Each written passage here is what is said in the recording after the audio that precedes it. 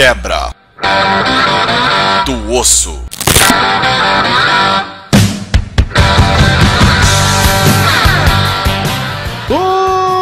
Saudação para vocês, lupinos hominídeos impuros. Aqui quem fala é Chocos e vocês estão em mais um Quebra do Osso.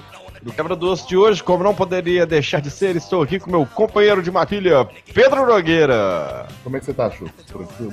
Eu tô de boa, velho. Preparando aqui carnaval, nós estamos hoje gravando, quinta-feira, o carnaval vai começar. Já acho fez, que.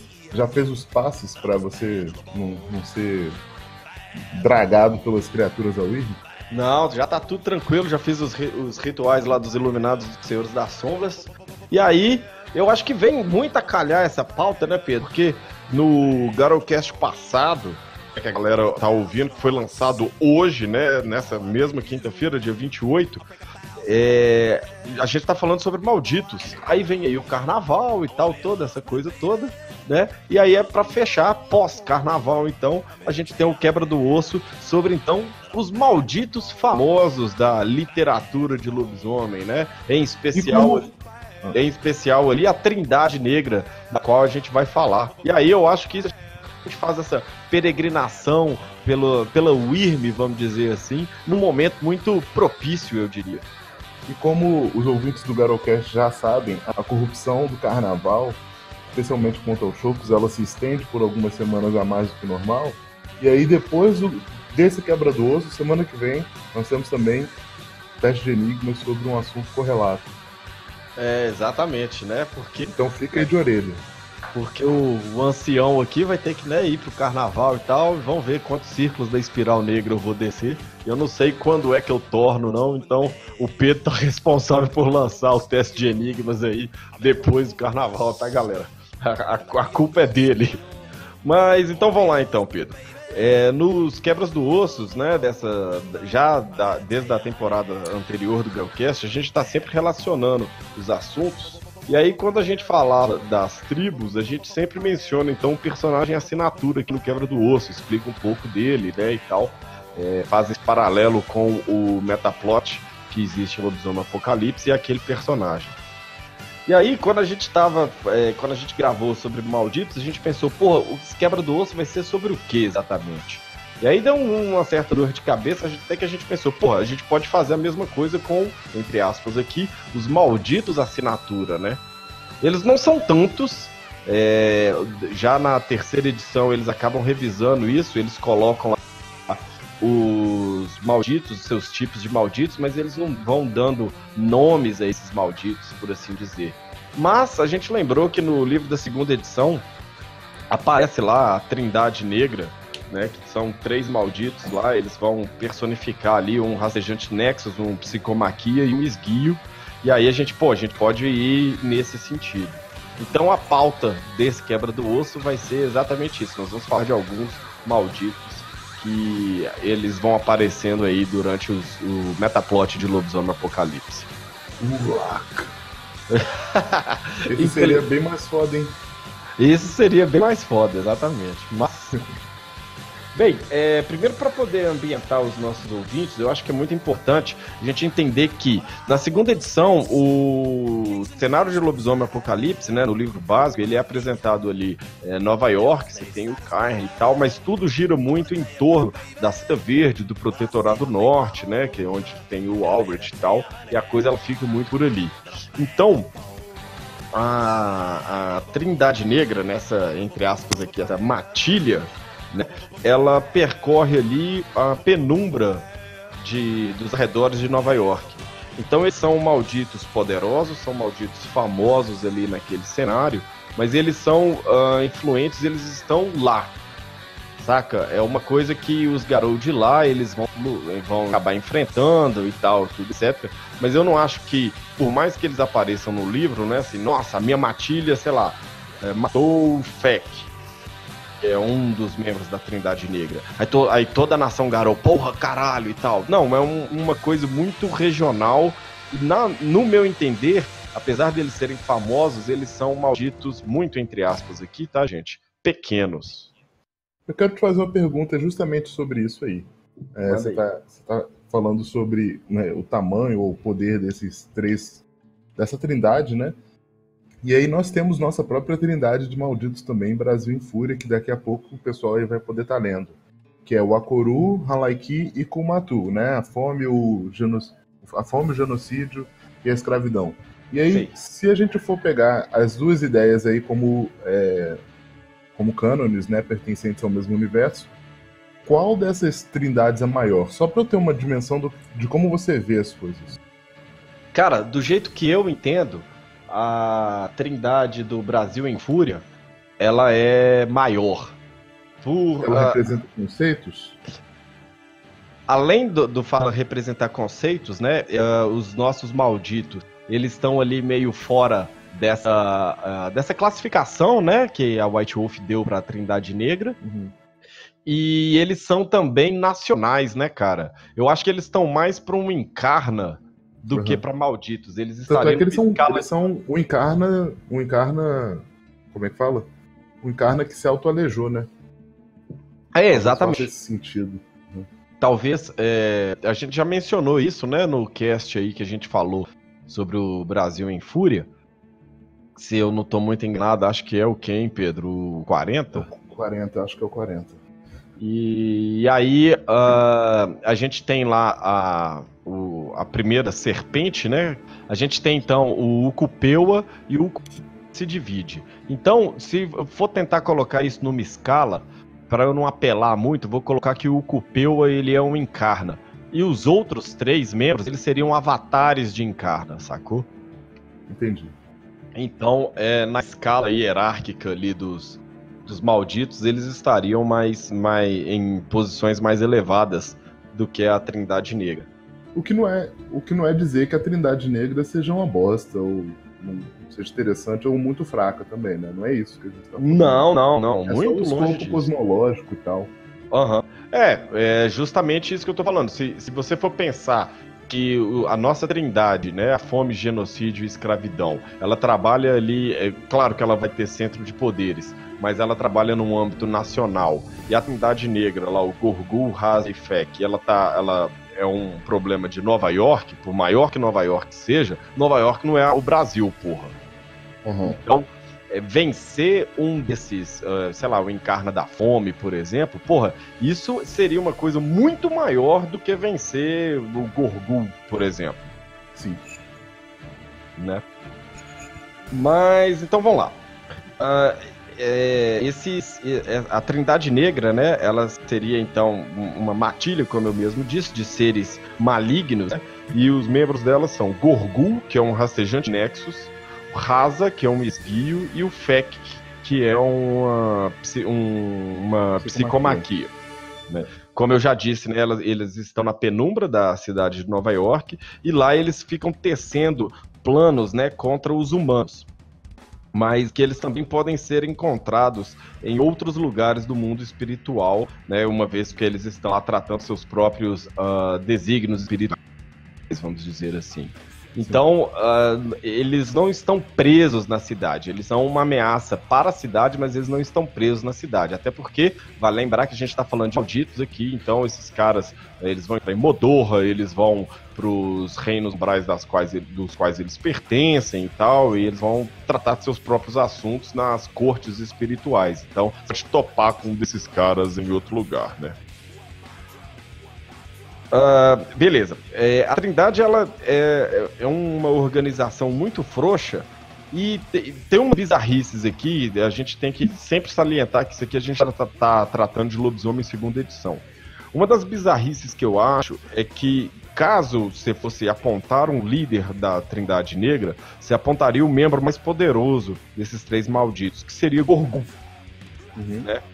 Uh, que é um assejante Nexus. E aí já vem a minha primeira crítica. Porra, o, o, a gente falou bastante, né, no teste de enigmas que vai sair na, na semana seguinte. O, a gente falou também, quando a gente fala no Garocast de Malditos, aí você tem um rastejante Nexus, que ele é completamente alienígena, uh, ele tem ele uh, os pensamentos dele, os planos dele, né, eles são, ele está completamente fora de, da nossa realidade. E aí você entender que ele é um líder dos outros dois, muito entre aspas essa palavra de líder aí, eu acho muito bizarro, saca? Uhum.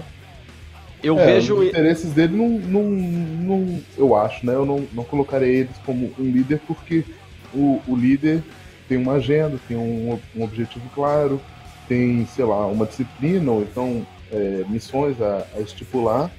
E, pô, não, não parece muito isso com um pensamento ou um comportamento alienígena, né?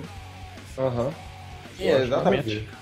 É, eu Tudo acho bem, que. Ele é bem poderoso e tal, mas eu não colocaria o, o Gorbu como, como líder, não. Não tem é. não faz sentido muito uma liderança, sendo que ele é tão estranho, até pros padrões de um maldito.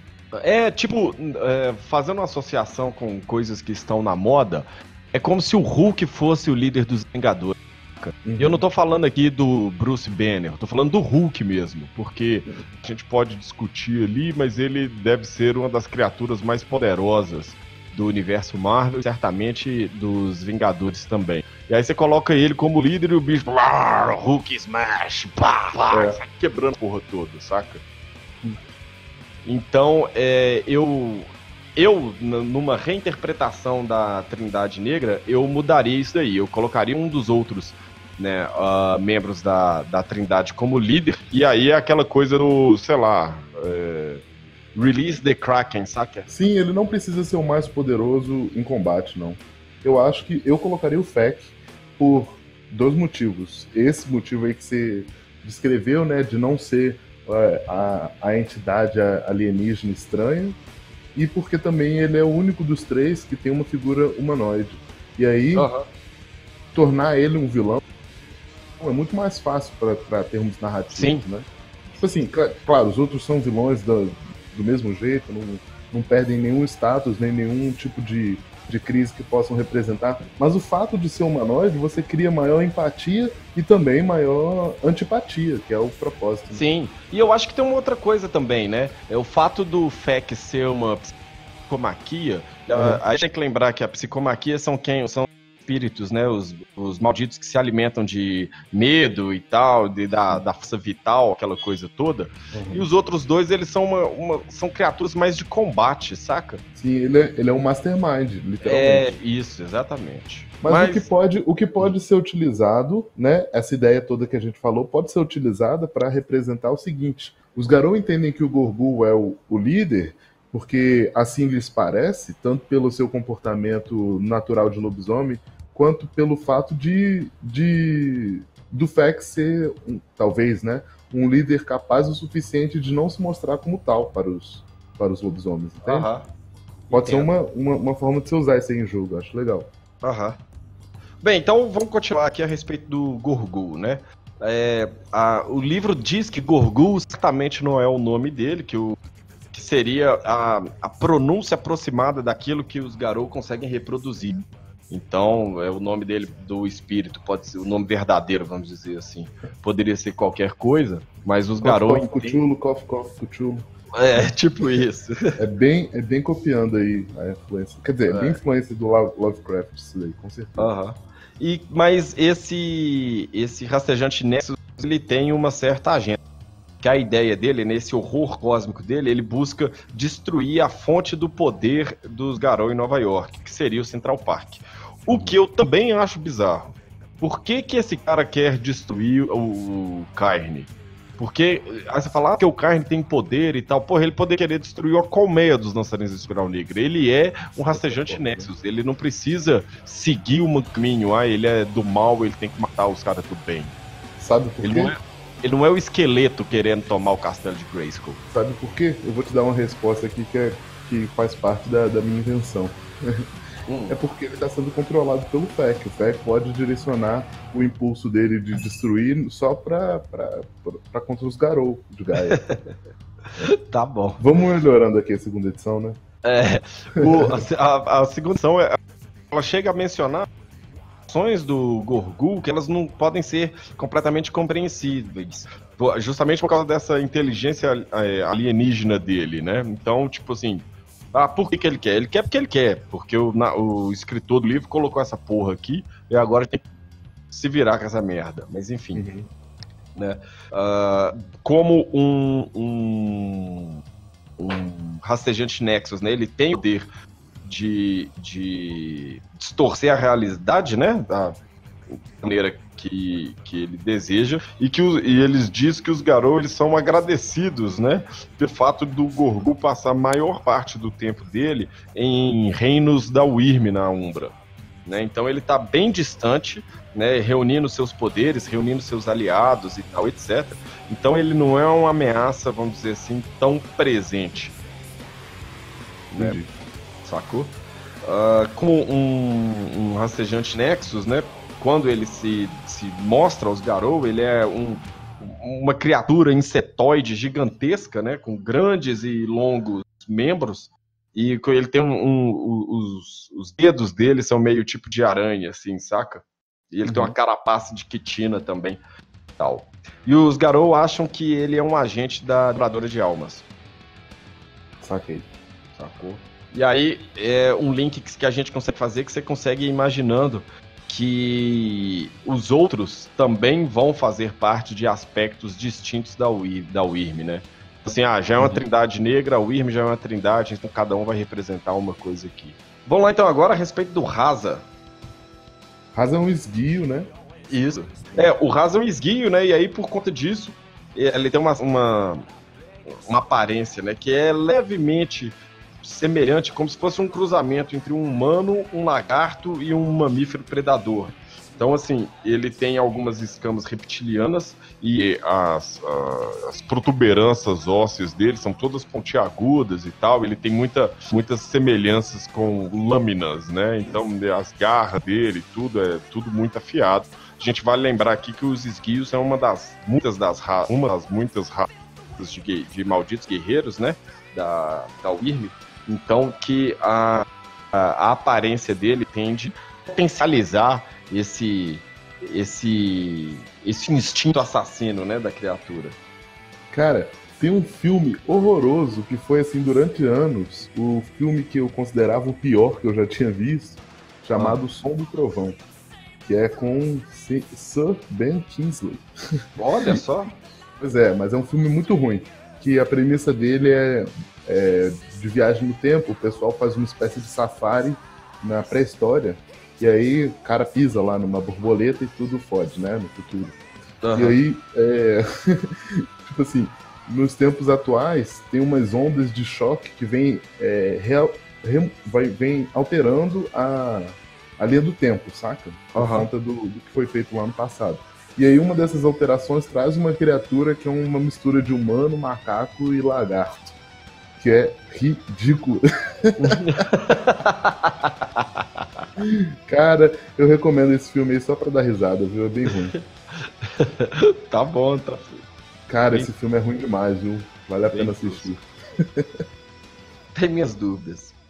O, o Raza, né? E ele costuma vagar pelas ruas pen, da penumbra de Nova York buscando suas vítimas.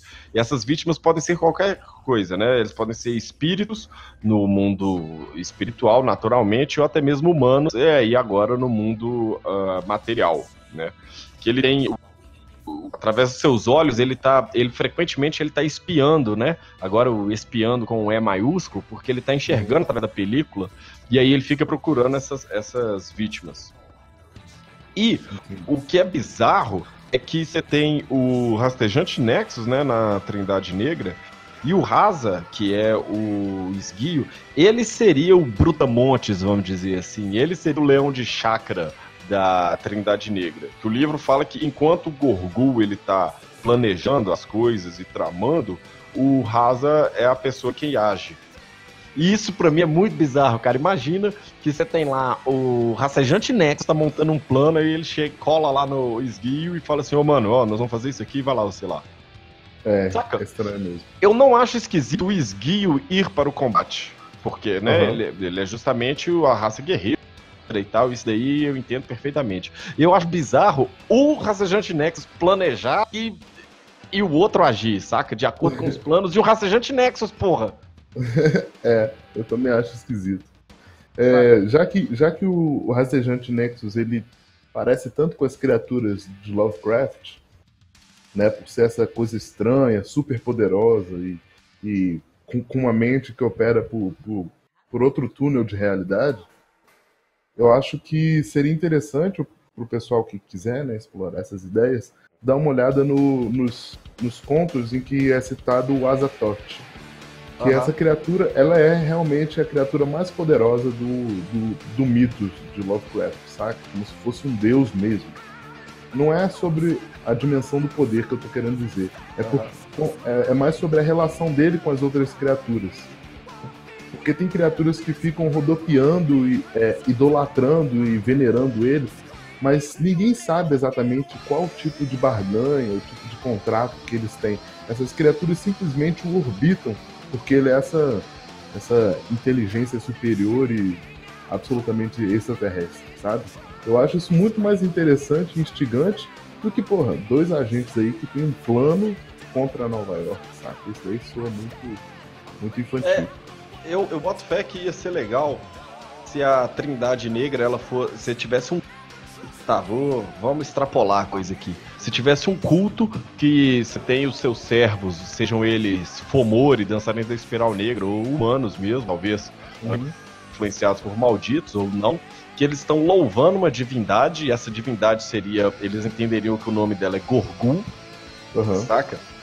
E esse louvor com você, sim. E esse louvor vai, vai alimentar o poder de Gorgul. E eles esperam que um dia vai vir pra terra, não precisa ser pelo mar, igual o Cthulhu, mas uhum. ele vai e cola aqui. E nisso, você tem divindades, entre aspas, aqui, menores, como o Fek ou como o Raza. Então imagina eu, que o, o Raza ele fosse um, um, espírito desse, né, de batalha e tal, etc. Um general, ele, assim. Um general, isso, que ele seria o supra-sumo desse, desse culto mas que os membros do culto que fossem dedicados ao combate, que eles fossem então, sei lá, entre aspas aqui, abençoados de alguma maneira, no caso, uhum. amaldiçoados pelo Raza, e aí eles, esses caras têm alguns tipos, algum, algum tipo de poder e tal, alguma coisa assim, saca? Bota fé. Cara, gostei muito dessa dinâmica e eu, eu expandiria ela com o que eu tinha falado antes, né? Porque para ser uma trindade, eles têm que estar ligados de alguma forma, né? E aí eu, eu gosto da ideia do, do Gorgul ser a maior entidade, realmente, essa coisa alienígena e que existe um culto em volta dela. E que o, o maior aproveitador dessa energia, desse culto, desses fiéis e tal, seria o Fek, que por trás do plan, dos panos estaria controlando as outras entidades, ou tentando obter controle dessas entidades é, através dos seus poderes mentais, sabe? Aham. Uhum. E aí o, o interesse do Rasa, ele é mais objetivo, afinal de contas o cara é, um, é uma criatura da guerra, né?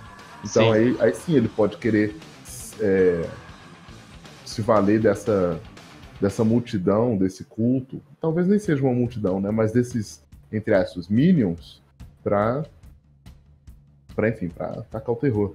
Ah. Interessante. Curiosamente, eu acabei de montar uma crônica aqui na minha cabeça com essa história do culto da Trindade. Mas, beleza.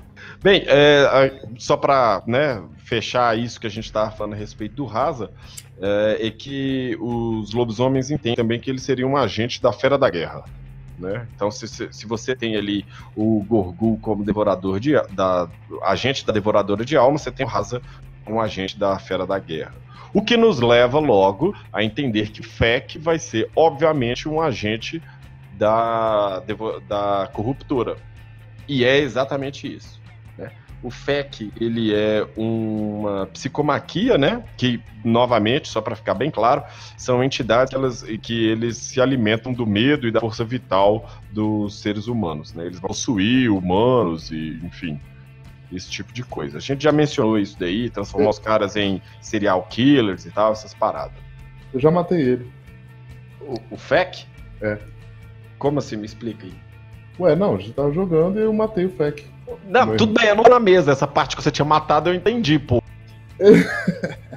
eu não lembro, foi um dos primeiros jogos que eu joguei com meu irmão.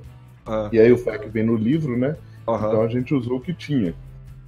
E se eu não tô enganado, eu tava jogando com o meu primeiro Octena, que foi o que eu joguei com você, que depois, né, joguei mais algumas sessões. Ah, entendi.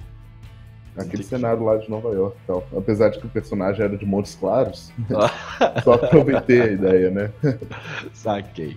Bem, o FEC, ele, né, ele dentro dessa classificação de psicomaquias, é dito no livro que ele é muito mais poderoso do que qualquer um de espécie. É aí, Pedro, tenho querer confluir para nossa ideia do culto em que que é o cara que manda mesmo. Mas que, apesar disso, ele é o menos poderoso da Trindade. Ah, pelo menos é o que os Garou e o resto da Trindade acredita. Então, ó, o plot formou aí. E porque essa informação que eu acabei de dar, ela, tava, ela tá no livro. Cara, olha só que legal. Temos o Feck como, como uma espécie de Lex Luthor, porque ele não é o mais poderoso dos vilões, mas ele é certamente o, o que controla lá a Liga do Mal, vamos dizer. Aí tem o, é, sei lá, o Solomon Grande, ou então o Bizarro, né? São essas criaturas de poder absoluto, mas que a mente, ou, ou eles são muito burros, ou então vivem em outro tipo de realidade, mais, mais ou menos como o Gorbu, porque você também tinha falado do Hulk, né? Uhum. Acho que fica uma comparação aí semelhante. E o, o cara da guerra, tipo o Deathstroke lá, sabe? Então, é uma comparação que eu acho que funciona, porque aí você vê que a, a dinâmica entre os, esses, esses três tipos de personagens, esses três arquétipos, ela tem que ser tal que, porra, né? O, o, o mais o mais alienígena não faz muito sentido de ser o líder, né? Uhum. O livro ainda fala, né, que apesar de ser o menos poderoso, que o Feck ele é de longe, ele é o, o, o mais uh, astuto deles, né? O que faz muito sentido. E que o poder que o Feck possui é, assegura que ele possa é, atacar os Garou, né? Que ele possa ferir os Garou de maneira que Garou eles não conseguem, vamos dizer assim, contra-atacar. Ou pelo menos que eles tenham uma dificuldade uh, mais óbvia do que um rastejante Nexus que apareceu na porra do Central Park, né, mano? Então você vai, uh, você acaba disseminando, você vai uh, pulverizando essa ideia do mal do FEC em outros aspectos. Você consegue uh, fazer uma parada mais bacana, na minha interpretação. Porque o que é que o FEC faz? Ele vai possuindo o, as pessoas das quais os lobisomens gostam, né? Então a gente pode imaginar parentes e tal, tudo, e enlouquecendo esses caras, né? Uh, eles dizem que talvez o FEC seja o, o, mais maléfico, mais maligno da Trindade, mas ele não é o mais temido. Uh, ele tem uma, uma aparência, a aparência dele é um. Parece o Barão Samedi. É, só que ele é de uma raça indeterminada, né? É né? E ele tem mucos que eles vão saindo do, do, dos orifícios dele todo, né? Pingando o queixo, né? E pingando o nariz e tal, aquela porra toda. Tipo uma gripe muito foda que esse cara tem. E que ele tem os olhos, que os olhos dele são bonitos e que eles brilham com compaixão. Só que essa compaixão, é, assim como tudo a respeito do FEC, é uma mentira. Que é, ele só usa esses olhos para poder uh, se, para poder atrair as presas dele, né? Uhum. E aí, bem, enfim, ele vai ter. Todos eles vão ter os encantos de acordo com os encantos dos, dos seres, né? Da, da classificação da qual eles pertencem, né? Então, uma psicomaquia, um esguio e um rastejante Nexus aí. Cara, é, eu gostei bastante dessa releitura, vamos dizer assim, que a gente acabou montando, saca? É uma releitura que quando você vê mesmo, ela não contraria o que está apresentado. É como se fosse. É como se a gente estivesse lendo uma entrelinha aí, né? Não, é... tem, não, tem, não tem nenhuma indicação para corroborar o que a gente está falando, não. Mas também não tem nada que contrarie veementemente essa ideia. Então é uma uhum. possibilidade. É, eu diria que é aquele tipo de coisa que a ideia tá ali no texto. Uhum. Saca? Ela não fica, ela não tá clara, mas ela tá ali no texto. Então, você só tem que ter o trabalho de ir lá e buscar. Uhum. O que eu me pergunto, por que, que você acha que eles tiraram a Trindade Negra da terceira edição? Você acha que é porque é uma coisa muito regional? Não, eu acho que é para tentar fomentar que os narradores, jogadores criem suas próprias coisas. Ah, entendi. Não sei se, não sei se, se isso é uma tendência da conforme as edições vão passando, né? Eu sei que, é, uma, eu sei que é uma tendência atual, mas naquela, naquele período eu não consigo realmente assim analisar. Mas, pô, os livros da segunda edição tem vários, quer dizer, vários não, tem alguns monstros, né? Não sei se isso daí é, é realidade na terceira edição. Sim, não, não. Na terceira edição não tem, não tem tantos. Uhum. Né? Mas, Talvez enfim, seja isso. É, pode ser. E aí aqui agora, é, eu queria usar o espaço que a gente está falando de malditos famosos para falar de, de um maldito que participa, diferente do, do da Trindade Negra, né? São malditos que participam ativamente da, da do metaplot do Apocalipse. E aí esse maldito ele tá ali descrito nos novels, na série de novels lá do Tribe Novels, que é, é impossível de falar, gente, desculpa, mas é Joklat Matrik, né, que é conhecido também como o Dragão da Croácia. Porque o que acontece é que eles fazem um, um, um conclave lá na, no, na seita da Karim Jausdot, e aí tem lá um tanto de gente, aparecem uns dançarinos da Espiral Negra, que eles falam que eles estão amando do arcade, o pau quebra tal, aquela confusão toda, não sei das contas. E tem um rio lá, que, que o rio tá morrendo, o rio foi envenenado, o espírito do rio tá, vai morrer e tal, etc. E tem um culto da Wia que já atacou alguns carnes que eles estão querendo uma pedra da lua que é para trazer esse dragão da Croácia. E o que Uhum. acontece é que o começo do livro inteiro, da série, é, os garotos só vão perdendo. Logo nos, nos dois primeiros livros, se eu não estou muito enganado agora, a memória tá me falhando um pouco. É, nos dois primeiros livros eles perdem, os, ga os garotos vão, vão se fudendo e tal, etc. E o- os dançarinos da Espiral Negra eles acabam por chamar a Joklat Matrik. E aí eles vão se organizando para poder tentar vencer, né, aquela coisa de ir para uma batalha final e tal e lutar contra a Joklat. E aí o Albert até chega lá e não sei o que, tem essa história toda. Você tem a matilha lá do- dos, dos dois rios lá, que ela é formada pelos novos personagens da assinatura, porque é bom lembrar que na segunda edição você tinha alguns personagens de assinatura e na terceira edição você já tem personagens de assinatura para cada uma das tribos. E esses personagens de assinatura são aqueles personagens que aparecem na descrição de cada uma das, das, das tribos, né? Uhum. A gente já falou de alguns deles aqui no, no, no cast. Você tem lá a M sem vozes, por exemplo. Você vai ter a, a Big Sis, que é uma das roedoras de ossos. Você tem a, a Julia Spencer dos Andarilhos. Mas enfim, são personagens que eles estão ali no segundo, terceiro posto e tal, uma coisa do tipo. Até para a narrativa escalar para uma coisa menor, para a narrativa estar mais próxima daqui da sua mesa. É porque ia ser muito bizarro ver no, no novel, aí montam a matilha Albrecht, o Yuri Konietzko, a Tamara Tvarivich, o, o Gogol, enfim, né, aquela coisa toda. Aí você fala assim, pô, tá, beleza, por que, esses, se esses caras não resolveram o problema da Wyrm, não vai, ser a gente.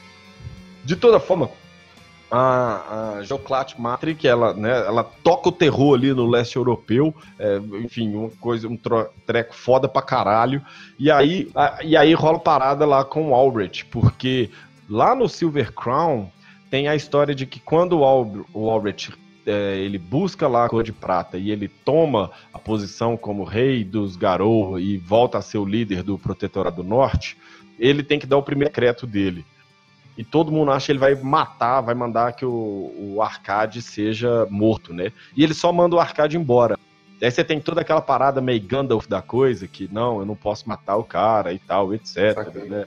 E eu, eu quero que o meu primeiro ato, é uma coisa que prova que o Albrecht é diferente, porque ele quer que a primeira ação dele como rei não seja matando um, um cara, sacou? Então, Uhum. muito entre aspas aqui, ele perdoa o, o, o Arcade. Né? De novo, muito entre aspas, porque ele fala: você tá expulso daqui, você é um páreo e tal, vai voltar pra Rússia andando.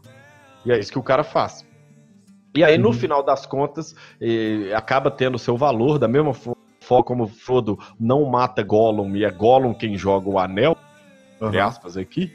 O, no final das contas, o Arcade, ele pra se provar, ele conversa com a M sem vozes, ele conversa lá com o Stuart lá dos Fiana, o Hagabashi dos Fiana, e o, é o Arcade, né, o Garra de Gelo, o mais puro de gerações de, de presas de prata, é ele quem, graças a um sacrifício heróico, ele acaba destruindo a Joklat Matri. Então, só para poder dar um resumo, né, e pegar esse gancho aí do metaplot de lobisomem. Tem algum outro famoso? Algum maldito famoso? Cara, então, eu fiquei pensando muito, porque você tem, por exemplo, no, no Last Battle, o Konietzko enfrenta o maior rastejante Nexus que já existiu, né?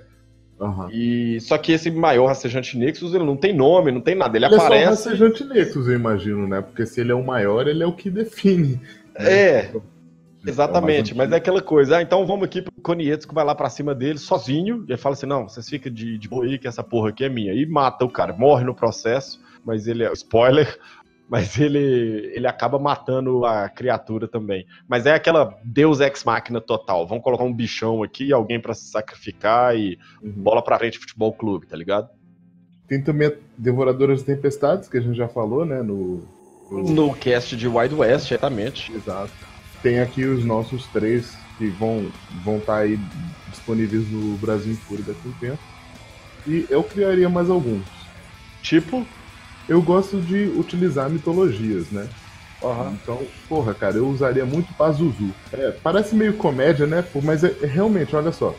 Pazuzu, ele, ele é ligado ao vento, ele, é- ele tem conexão com leão, com cães, com é, insetos, com escorpião, certo? Ele é representado, ele é representado como um deus é, que dá vida, mas também é, mata, né? Que traz a destruição e ele é ligado à fome, estiagem. Então tem um monte de atributo interessante para você explorar no jogo e que, para mim, parece muito com religiões animistas, porque é, né?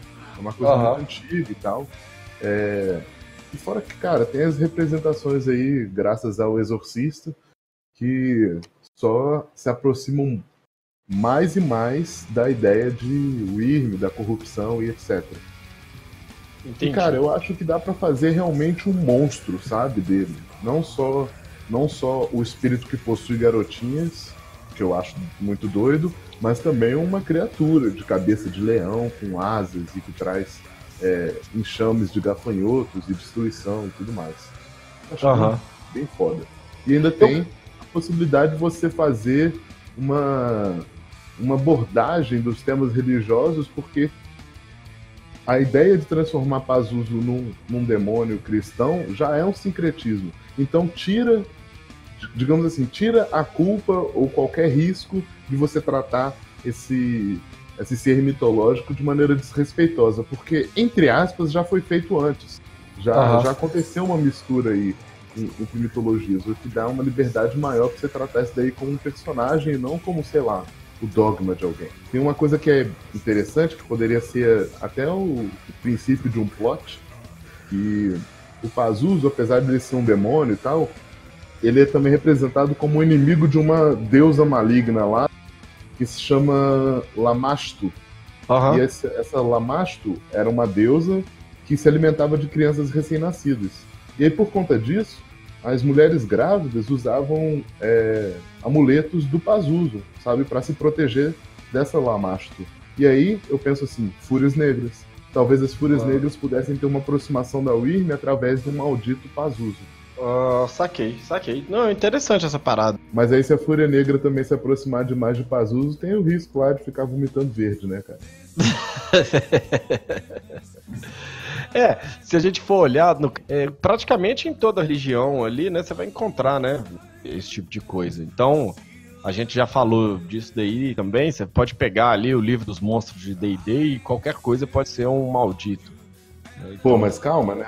Um, sei lá, um urso coruja não ia ser muito legal, não. Não, tá, o urso coruja tá mais pra uma górgona ou qualquer coisa do tipo, mas enfim. Mas a gente realmente já falou que, inclusive no cast de Malditos, que alguns dos monstros lá do, do bestiário de D&D, eles comportam muito bem uma ideia semelhante, tipo os Devoradores de Mente, é esse o nome, né? É, ah, Mind Flayers, é. Eu não sei se é Devoradores, não lembro como é que é. E alguns Ah. outros lá também. Especialmente aqueles que são. que não são tão parecidos com animais, os que são bem, né? Mais viajados, Ah, aham. esquisitos, eu acho que funciona. E alguns dragões. Né. Tem que Enfim, ter dragão, né, velho?